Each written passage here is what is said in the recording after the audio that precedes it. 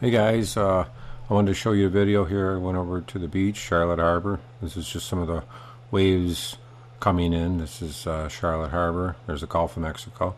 And I found some shrimp. So uh, I gathered them the from the shore and threw them on a table.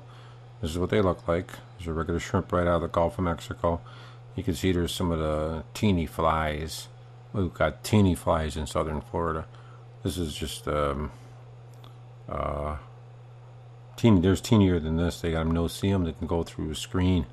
Uh, but I wanted to show you. This is kind of uh, what um, you know fresh shrimp out of the Gulf look like. Uh, these are just three that got washed up on shore, and uh, they don't even smell. And probably got washed up on when the tide came in, and then uh, they got stuck on the shore, and the tide went back out. So a lot of birds and things like eat these, but these are regular Gulf shrimp. This is something that you go and buy and actually just eat. So uh, thanks a lot, and uh, kind of get a kick out of it. But uh, just some shrimp I found at the Gulf of Mexico today. Thanks a lot.